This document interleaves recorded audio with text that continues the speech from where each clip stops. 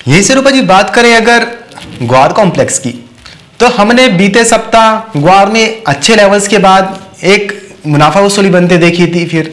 आज देख रहे कि हफ़्ते के पहले कारोबार दिन, एक बार फिर से ग्वार में तेज़ी बनती नज़र आई है। ग्वार गम का दिसंबर वायदा साढ़े दस हज़ार के लेवल पर है, ढाई फ़ीसदी की तेज़ी, और ग्वार सीट का दिसंबर वायदा पाँच हज़ार नौ सौ के ऊपर है। उसमें भी तेज़ी देखने को मिल रही है। आपको अलग क्या लगता है? क्या हफ़्ते के पहले कारोबार दिन आज ग्वारगम और ग्वार सीट में ऊपरी सर्किट लगते हुए नज़र आ सकते हैं? देखिए, तेज़ी तो बनती हुई दिखाई दे रही है और हफ़्ते की शुरुआत भी अच्छी हुई है।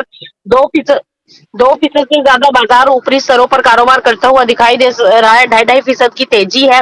डेफिनेटली एक्सपेक्ट किया जा सकता है कि ये तेज़ी आज इंट्राडे में बढ़ सकती है और गम जो है जनवरी वायदा जो है वो ग्यारह हज़ार के ऊपर निकल सकता है और वहीं अगर सीट की बात करें गुहार सीट जो है वो छह हज़ार के ऊपर कारोबार करती हुई दिखाई दे सकती है दिसंबर वायदा में। और इनफैक्ट जनवरी वायदा तो छह हज़ार के बेहद करीब है तो इकसठ सौ तक वो भी ऊपर जा सकता है। यानी कि एक्सपेक्टेड है डेढ़ से दो फ़ीसद की तेज़ी अभी करंट लेवल से और बनती हुई दिखाई दे सकती है।